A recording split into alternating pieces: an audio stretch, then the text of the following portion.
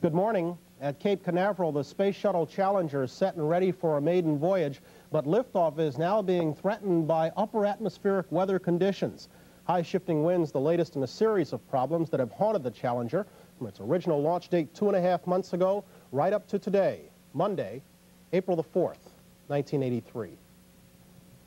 And good morning and welcome to today for this Monday morning. We hope your Easter weekend was a good one. I'm Bryant Gumbel, happy to be back alongside Jane Pauley here in New York. In this half hour, shortly, in fact, we're going to be going back live to the Kennedy Space Center for the latest on the launch, and we'll be talking with Deputy Director George Page about today's maiden voyage of Challenger. Jane? And in the news this morning, we have more on the situation at Cape Canaveral, where strong jet stream winds are threatening this afternoon's blast-off of the Space Shuttle Challenger. The Challenger's maiden launch on a five-day mission carrying four astronauts has already been delayed for two and a half months because of engine leaks. Science reporter Robert Bazell is standing by live this morning down at the Cape. Good morning, Bob. What's the story? John, good morning. A final decision about whether a launch is possible will not be made until about an hour before the scheduled launch time, which is 1.30 p.m. Eastern Time.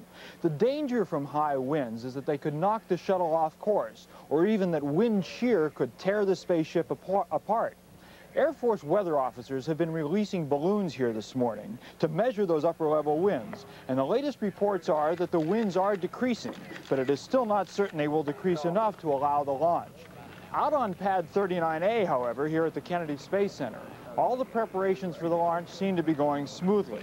The new orbiter, the Challenger, appears to be ready to go into space after those two and a half months of delay caused by engine problems. Fuel has been loaded into the huge external fuel tank, and later on the four astronauts will go out to the pad to get ready. The goals of this mission are to test the Challenger, to take a new communications satellite into space, and to allow astronauts to take the first space walk from the Columbia. All that will be possible if those winds in the upper level atmosphere die down later on today. John? Again, liftoff for the Challenger now set for 1.30 Eastern Time this afternoon. NBC News coverage of the launch begins at 1.30. NASA plans to launch the sixth space shuttle. This launch will be a little different, though, than those of the past, for this shuttle is a brand new machine. It's called the Challenger. So far, getting the spaceship off the ground has proved to be a real challenge to the engineers at NASA. On board for the Challenger's maiden voyage will be a four-man crew. Commander Paul Weitz is the only member of the crew to have flown in space before. He piloted the first mission of Skylab back in 1973. Pilot Karol Bobko is no stranger to the shuttle, though. He's been a capsule communicator and a chase pilot for the shuttle approach and landing tests. Also on board Space Shuttle 6 will be two mission specialists, Donald Peterson and Dr. Story Musgrave, the first medical doctor to fly on the shuttle. But he won't have much time to practice medicine. Both of those gentlemen will be busy attending to the flight's main order of business, and that is launching the TDRS. It's a huge communication satellite, the first in a system designed to improve communications between ground control and spacecraft.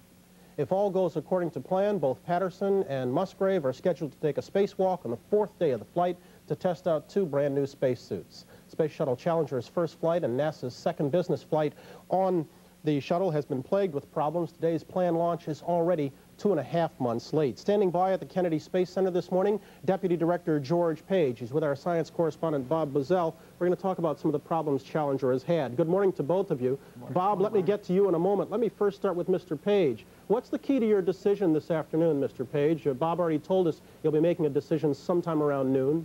Well, right now, the, uh, the, the, main uh, unknown, Byron, is the, uh, the status of the winds aloft up about 40,000 feet. Uh, they have been coming more out of the south than the vehicle can uh, take. And uh, our last check, they seem to be swinging to the west, and if they continue that trend, why, we hope we'll be all right to fly. We noted the original liftoff date was January 27th. How much pressure are you under to get this thing off the ground today? Well, we're very anxious to get it off, but uh, there's no, nobody out here under any pressure to launch uh, one that we don't feel absolutely safe with, and uh, that's our first concern. And if we have any problem at all, we won't launch. We're not under that kind of pressure. Right now, you and your people are still optimistic about meeting the 83 timetable. If it's delayed today, will you still be able to meet the timetable? Yes, uh, we think we can still stand a few days. Now, the uh, downstream turnaround flows are going to be very tight because we are late on this one, as you mentioned, two months down. Now, we, ex we expect to be able to make that up, though. Uh, Mr. Page, one of the questions I think that in the public's mind is that there were leaks of hydrogen and oxygen from these engines, and these are two chemicals, when they come together, they could explode. Are you people absolutely convinced that there's no danger out there today? We are happier with these engines than we have been. Uh, we know more about them. We've, we've uh, come up with some more sophisticated leak check procedures, which we were forced into because of the problems. And uh, we are very confident with these engines.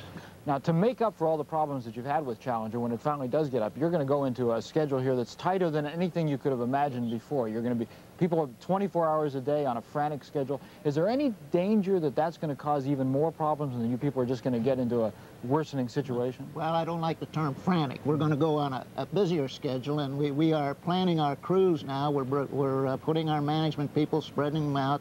Nobody's going to work 24 hours a day, but we will cover the job 24 hours a day. But, but it's a tough task. It is going to be tough. It's going to be tight. Again, we're going to do everything we can to, to hold the schedule. if we run into a problem, then the schedule's got to suffer. And the last question, if it doesn't go off today, how many days have we got before we're into another situation of weeks and weeks of delay? Oh, uh, we've got about uh, till Friday this week, and then we've got, uh, if we're not off by then, the deciding factor is the are the batteries on the payload. We've got to go in and change those, and that's uh, probably a several-day task. So we hope that those winds in the jet stream uh, will, right. will, cooperate and we'll get Abs off today. Absolutely. We're, we're okay. very hopeful of that. Mr. Page, thank you very much. Sure. Brian? All right, Bob, thank you. And again, NBC will have full coverage. Of Where Morton Dean is standing by. Morning again, Morton.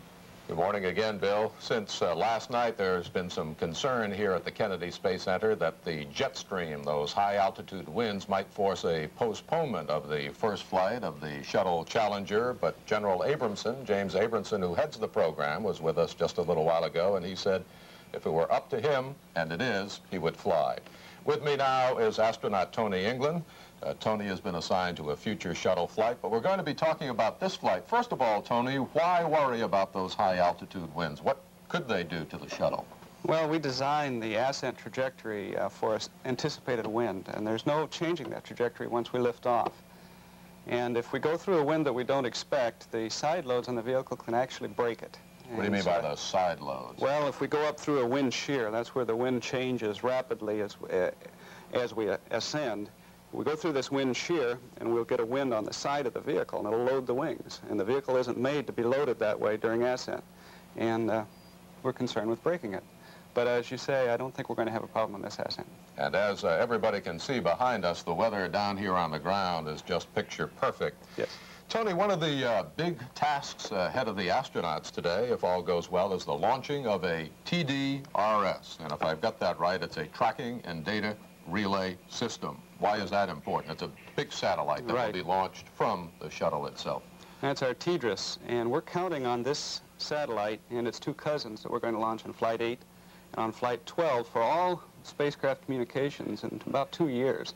We're going to close down about a dozen of the worldwide uh, tracking stations. The ground stations. The ground stations, that's right. And our budget is based on closing those stations. There isn't money in the budget to keep those open. So we, we have to get this, these, these satellites up and get them working. Uh, uh, and also, uh, it'll give us much better communications with our spacecraft than we have now. Right now, we, in some orbits, we have as little as 15% coverage from ground stations. When we have TDRS up there, we'll have more like 80%. And if my uh, homework serves me right, uh, I remember reading that the uh, new system will be able to handle 100 separate spacecraft at the same time and 32 shuttles, or the other way around. It's anyway, it's we have 32 shuttles, right? It's an impressive system. Or really 32 is. satellites and 100 spacecraft. Yes. It's in there somewhere. Yes. Let's move on to Thursday, mm -hmm. another big event, the EVA, yes. the extravehicular activity, the spacewalk. That was uh, put off uh, during the last flight because both spacesuits uh, malfunctioned. It was a yes, major these setback. Are, these are new suits, and uh, in any development you have problems. But we're counting on being able to do EVAs with the shuttle system uh, to repair spacecraft, to uh, refuel them. It's a basic part of the shuttle system to be able to go out and do an EVA. So this is our first try at it, and we're counting on this working. And then we have to do it on 11, and then on 13, Flight 13, we do our first repair. So, repair of a satellite in that's space. Right. Tony, that's thank you very much. You and now back to New York. Thank you. On this Monday morning, and as you can see at Cape Canaveral, the Space Shuttle Challenger is ready, set to go for its maiden voyage. But will it go? It's set for a 1.30 liftoff, but right now launch officials are waiting until about noon Eastern Time to make a final decision on whether or not the Challenger will lift off today. Evidently, there's some high shifting winds in the upper atmosphere that may delay that. Good morning again. I'm Bryant Gumbel, back along with Jane Pauley at 8 o'clock. In just a moment, we'll be... Thank you, Brian, and good morning, Jane. In the news this morning, NASA officials at Cape Canaveral say they will wait until about an hour before the scheduled 1.30 p.m. launch time before deciding whether to go ahead with the first mission of the Space Shuttle Challenger. High winds could force yet another postponement of this long-delayed flight. Our Bob Bazell is at Cape Canaveral this morning with more on the story. Good morning again, Bob. John, good morning. The Challenger, a brand new spaceship, is ready for its first flight into space. The only problem has been those winds in the upper atmosphere at about 40,000 feet. During the night, the winds were coming at speeds and direction which could have knocked the Challenger off course or even broken it apart. But we've just gotten the latest reading from an Air Force weather balloon that went up about an hour ago, and it indicates that the winds are shifting. They're now coming more from the west, and that's what NASA officials want. Now, as you mentioned before, there hasn't been a final decision yet about whether it's go for launch. That decision will not be made until about an hour before launch, but it is starting to look a lot better. Out on the pad, meanwhile, everything is going smoothly in the countdown. Fuel has been loaded into the huge external fuel tank. In a little while, the astronauts, Bobko, Weitz, Peterson, and Musgrave, will go out to begin the final preparations for liftoff. If the winds do cooperate, we'll have a launch here at 1.30 p.m. Eastern Time. John? Bob, and we'd like to remind you that NBC News coverage of that launch will begin at 1.20 p.m. Eastern Time. But both of them seem to have been corrected. If Challenger does blast off as scheduled, it will be a very long day for the astronauts. They will send up their huge communications satellite, the biggest ever taken up, uh, just before midnight tonight. And then, of course, on Thursday, the planned spacewalk, the one that was canceled the last time because of those suit failures. The spacewalk would be the first for American astronauts in nine years. All of that, of course, assuming that Challenger leaves the pad on time this afternoon. Steve? Thank you, Lynn. And if all does go well, ABC News will carry the launch of the Space Shuttle Challenger live beginning at 1.25 Eastern Time. Canaveral are causing a few difficulties concerning the launch of the Space Shuttle Challenger. NASA officials say high-altitude winds of up to 100 miles an hour are too strong for a safe launch, but they are hopeful that the winds will die down before the launch scheduled for 1.30 this afternoon few minutes ago, we talked to the Cape. You're seeing a live picture there now, and they're much more optimistic at this hour that the launch will go on as scheduled. And if all goes well, NBC will begin coverage of the launch this afternoon at 1.20 Eastern Time. I'm Bobby Batista. And I'm Jim Wilkerson. While the countdown continues for the 1.30 p.m. Eastern Time liftoff of the Space Shuttle Challenger, this will be the Challenger's maiden flight. High winds about 40,000 feet above the shuttle did threaten the scheduled launch, but a launch control spokesman said this morning the shuttle is now ready to go Deborah Lindner reports on what the shuttle hopes to accomplish. Crucial to the success of this sixth shuttle mission is the launching of a two and a half ton tracking and data relay satellite, one of three to be launched by 1984. Together, they will establish an almost continuous communications link between mission control and shuttle astronauts. That network is a key element in future missions, especially Spacelab.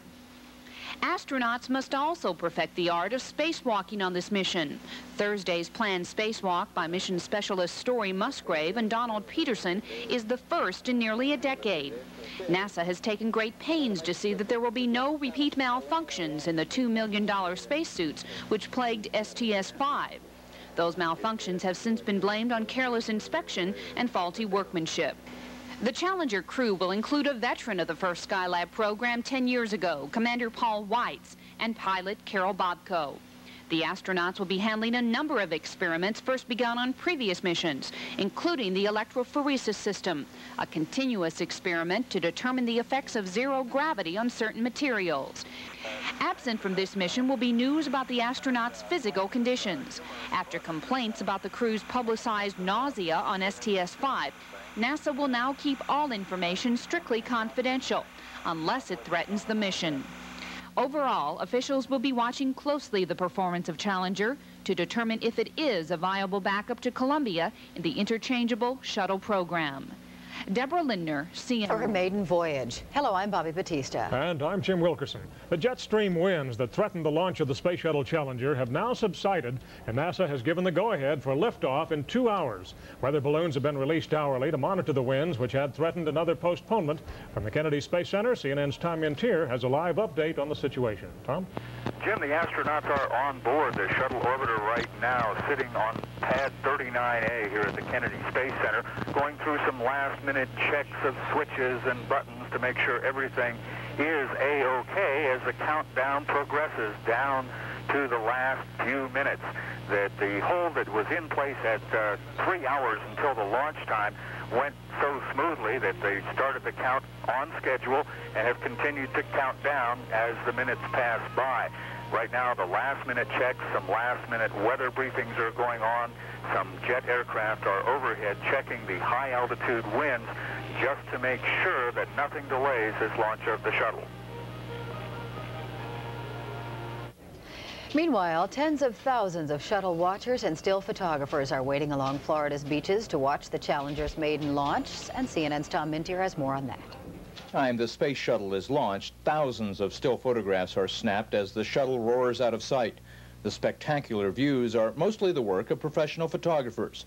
They work for newspapers, magazines, industrial firms associated with the space program, and many just shoot for the fun of it. At the Kennedy Space Center, all of the major camera manufacturers are lined up in a row at the press center. While it may look like a photo shopping center, most of this equipment is not for sale. The companies come here not only to photograph the shuttle, but to loan equipment to other photographers. The free service is extensively used, and the photo people make repairs just in case something breaks at the last minute. Other photographers bring their cameras here for a quick cleanup to ensure nothing goes wrong on launch day because there's no second chance. The cameras use a sound activation system that starts the camera as soon as the shuttle fires its engines. Picking your remote camera location near the launch pad takes plenty of experience and a pair of wading boots, not only for the water, but to protect you from bugs and snakes. Many of the cameras are set up in waist-deep water to get a reflecting shot of the launch. Others are placed at different angles to record the entire flight, visible for only 90 seconds. So the next time you see a photograph of a space shuttle launch, remember, there wasn't anyone standing behind the camera clicking it, but the photographer may have risked becoming dinner for an alligator just for one 8 by 10 Tom Mintier, CNN at the Kennedy Space Center. Approximately one half hour from now, the Space Shuttle Challenger will blast off on its 2 million mile, five day voyage around the Earth. The Challenger was given the go-ahead for its 1.30 p.m. Eastern Time flight after weather balloons indicated jet stream winds had subsided. Technicians were concerned the 100-plus mile-per-hour winds would create unacceptable stress on the shuttle. Co-pilot Karol Bobko and his three crew members have entered the shuttle now. In addition to putting the shuttle into orbit, they're also scheduled to deploy an important communication satellite 10 hours after blastoff. Meanwhile, today's launching of the Space Shuttle Challenger drew thousands of shuttle watchers to Florida's Space Coast. CNN's Tom Tom reports. On launch day, finding a place to watch the liftoff of the space shuttle is as hard to find as a four-leaf clover. Hotel and motel rooms all along the central coast of Florida are reserved months in advance. The launching of Challenger, the sixth time NASA has put up a shuttle, is drawing huge crowds. For college students, it's spring break. For everyone else, it's Easter weekend. Campers and pup tents dot the coastline. People come to the shuttle launchings to have a good time and to see a little bit of history on the same trip. But this launch is drawing a lot of first-timers. Well, we're doing a tour of the thing, and this happened to be going on during our tour, right? So we figured it'd be a good place to camp for a couple days and catch it. This is the first time. Why'd you come down? We've been watching it on TV for all the flights, and we just wanted to see one in person. Some people may call these folks tourists. They buy souvenirs specially designed for the Challenger mission. But most people who live around here or work for NASA don't call them tourists. They call them taxpayers. This area is also called by some Disney World West because the Kennedy Space Center has so many visitors now. For the hundreds of thousands of people who come to see the space shuttle launches, it only appears to them as a glimmer of fire in the sky as it races from the launch pad to outer space. But they say they don't really mind it's just being here when the shuttle lifts off of pad 39A that's important to them. Tom Mintier,